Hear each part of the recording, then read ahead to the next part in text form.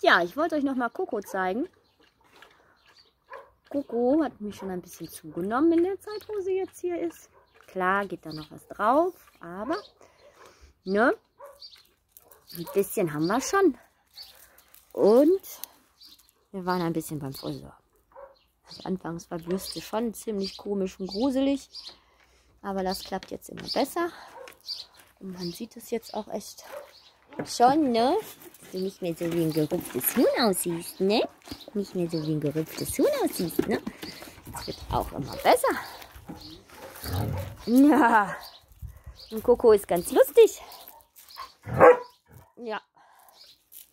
Der Coco ist ganz lustig. Jede Menge Quatsch im Kopf, ne? Ja. Jede Menge Quatsch im Kopf. Bällchen sind auch ganz witzig. Aber wenn sie halt zu doll wird und zu sehr hoch dreht, da haben die Herrschaften hier dann doch ein Veto, was sie einlegen. Und dann bremsen sie aus und dann ist dann auch ganz schnell wieder Ruhe im Karton. Das nimmt sie gerne an.